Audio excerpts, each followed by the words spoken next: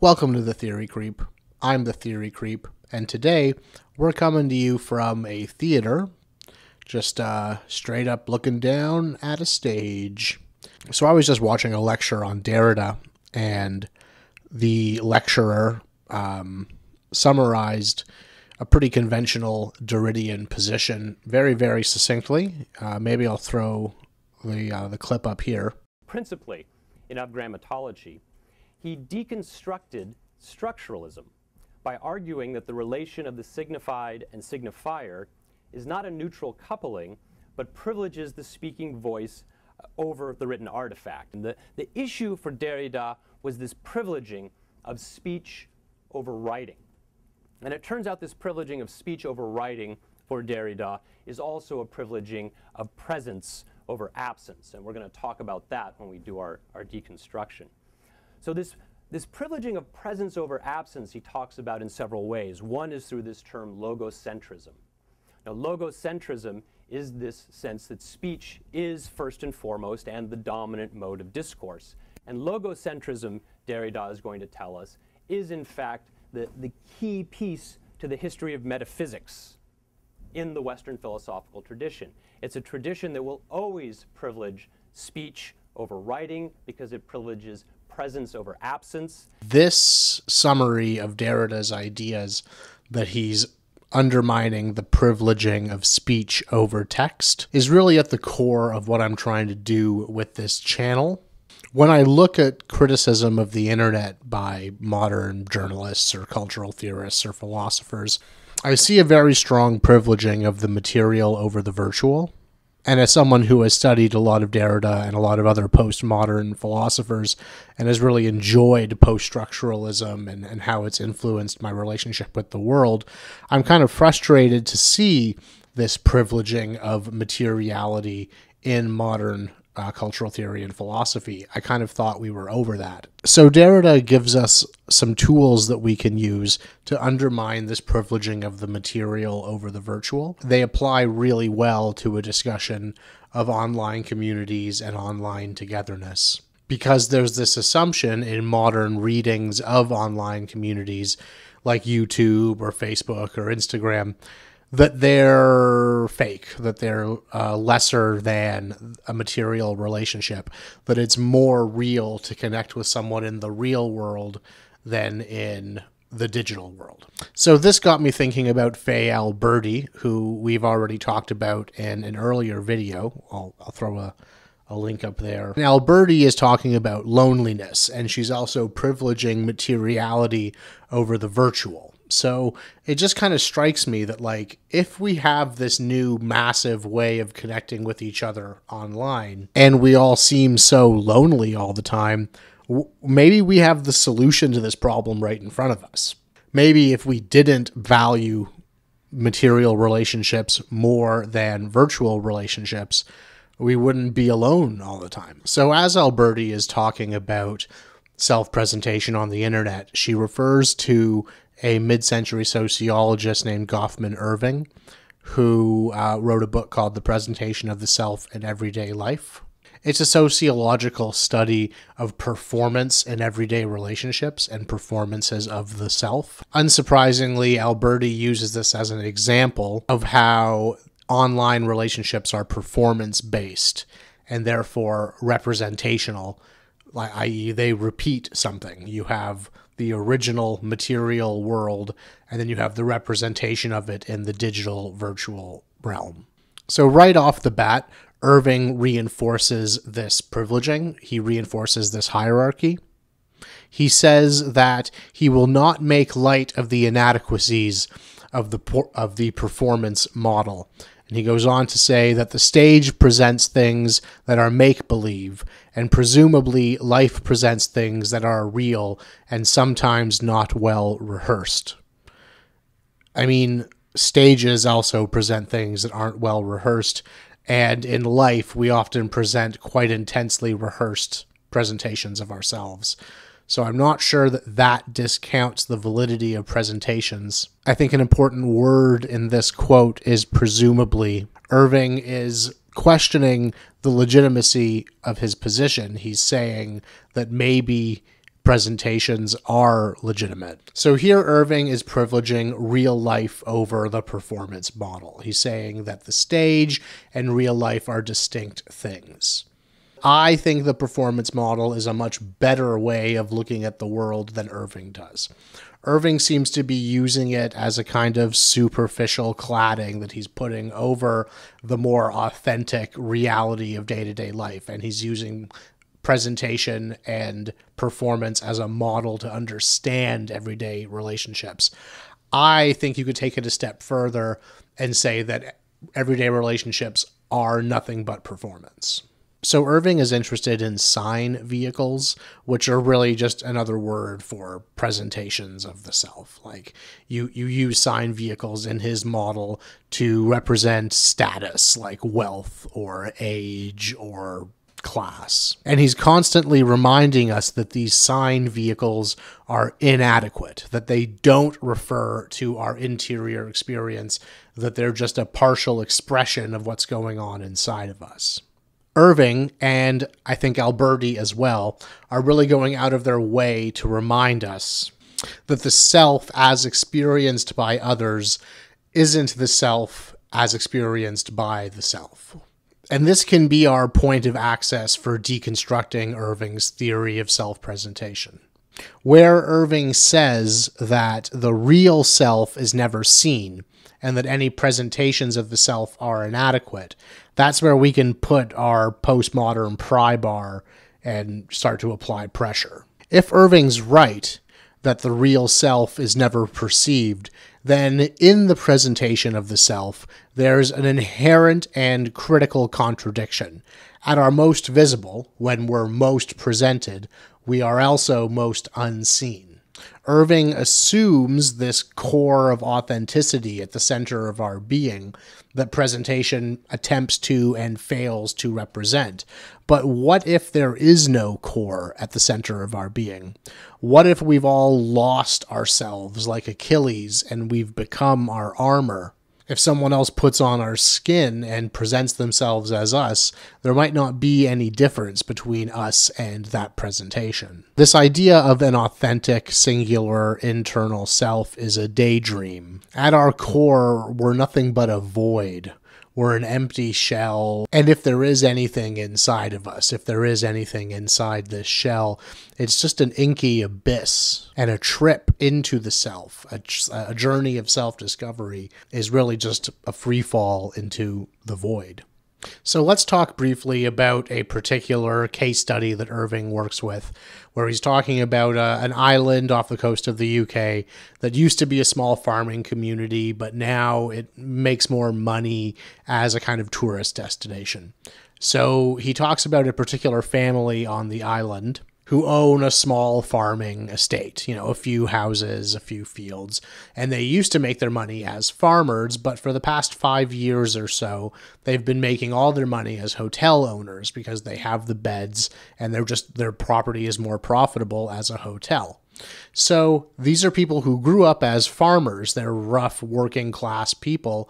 And now, for the past five years, they've been tending to middle class sensibilities clean sheets, down comforters, soft beds, good food, you know, clean clothes, proper hygiene, all the middle class trappings that one would come to expect from a chic hotel manager. Now, Erving says in the beginning, this was a presentation. The farmers were actively presenting themselves to their clients as middle class personalities in an attempt to make the customers feel more comfortable.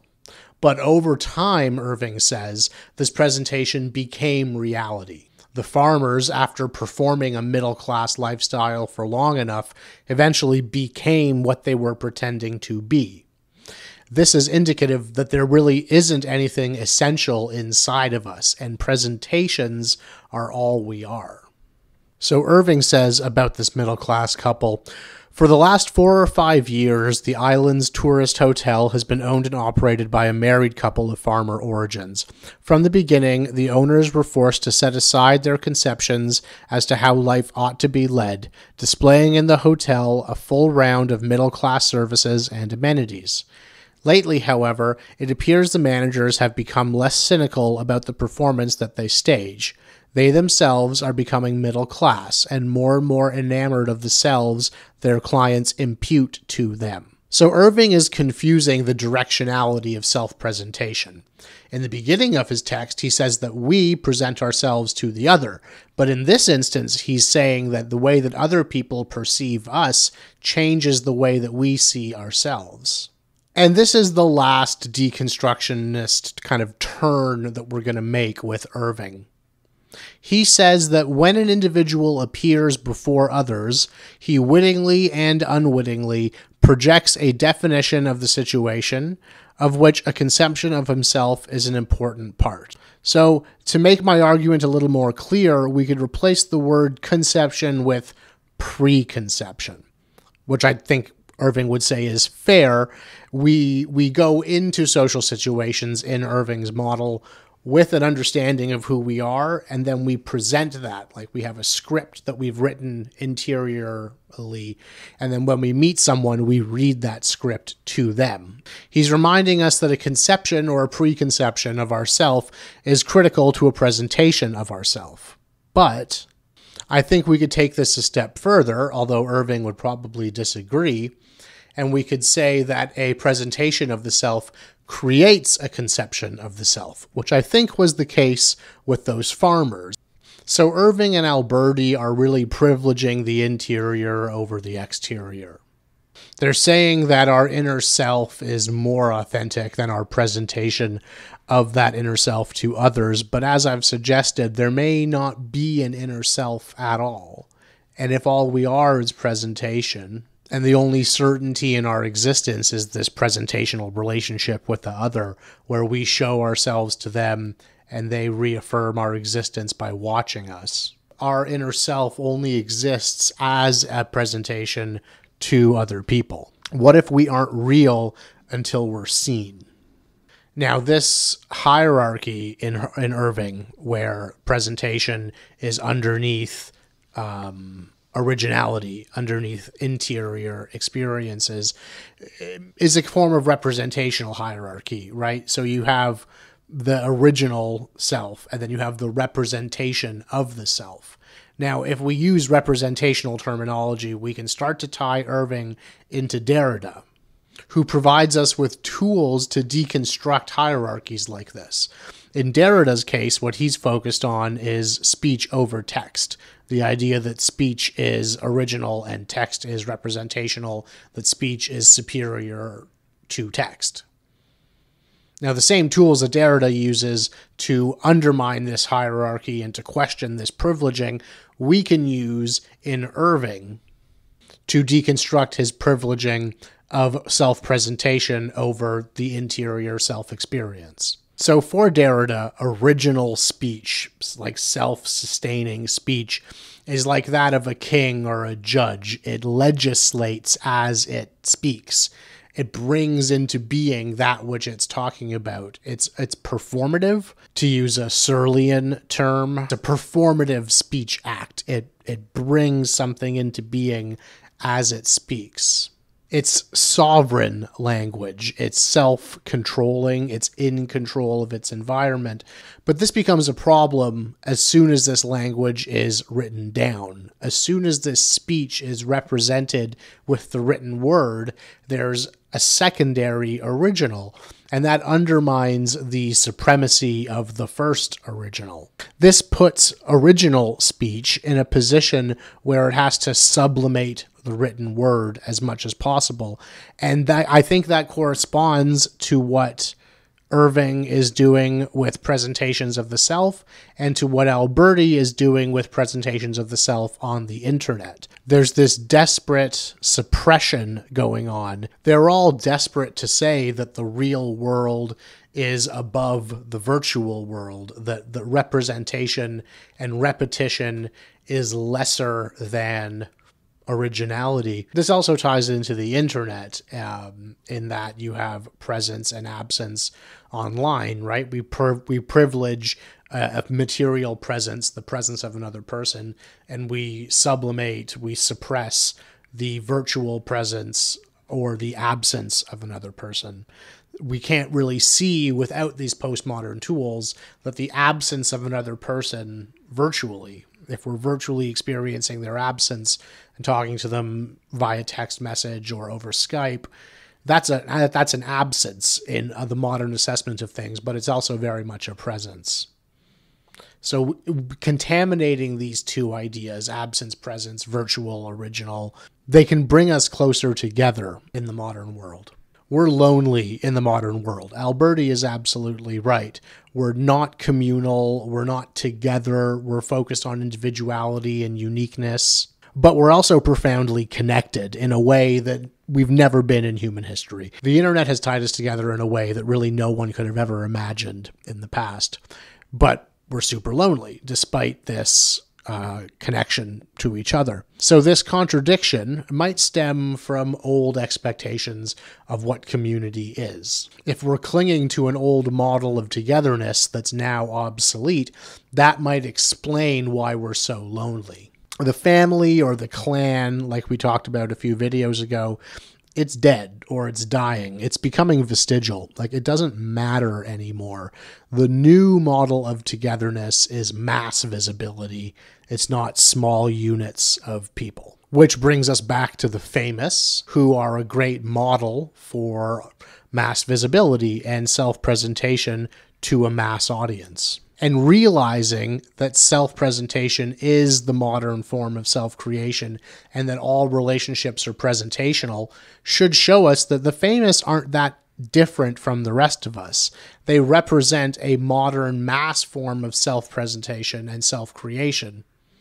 They might do it in extremis, they might be an extreme example of modern self creation, but they're still using the same tools that everyone else is. The famous are like the rest of us.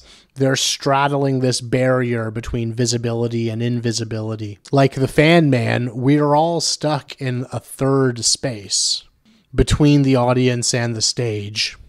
And third space really might be a misnomer in this case, because this might be the only space that's available to any of us. So I want to close with another Eastern Taoist mystic, uh, Chuang Tzu.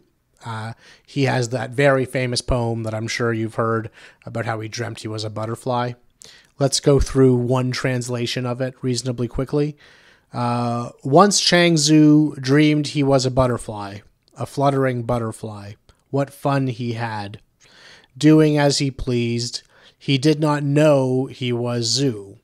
Suddenly he woke up and found himself to be Tzu, he did not know whether Tzu had dreamed he was a butterfly or a butterfly had dreamed he was Tzu.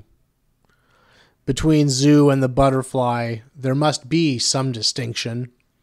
This is what is meant by the transformation of things. So let's talk about those last two lines because I think they're not very often quoted when people talk about this poem, and I think they are very, very interesting. So you might think that this distinction between butterfly and human works against a postmodern reading of this poem. But the dreamer didn't say that he knew when he was dreaming that he was dreaming, and that he knew when he was awake that he was awake. All they're drawing a distinction between is butterflies and people. The poem still leaves it ambiguous whether or not it's a butterfly dreaming it's a person or a person dreaming it's a butterfly. There might be a distinction between those two things, but there isn't a clear distinction between representation and reality. Virtuality and materiality are contaminated in this poem. And the last sentence, this is what is meant by the transformation of things. I think that's extremely postmodern. It leaves things open to change you could be a butterfly one day and a person the next. And it's not a privileging. You're not saying that you're dreaming that you're a butterfly, therefore you're not a butterfly. You're, it's saying that when you think you're a butterfly, you are a butterfly. It's privileging presentation over materiality. If, and it might even be dismissing materiality entirely and only giving us presentation. The only thing Chuang Tzu knows is what he sees, is what he presents, and what the world presents to him. So, this approach to virtuality and representation, I think, is really useful to modern online persons. as we make ourselves in virtual spaces more and more, I think we need to be disregarding these materialistic approaches to reality, to this idea that the physical, that the immediate presence of the other are superior to the absence of the other and their virtual presentation. Anyway, just something to think about. Uh, thanks for tuning in. This is the Theory Creep. I'm the Theory Creep, and we'll see you next time.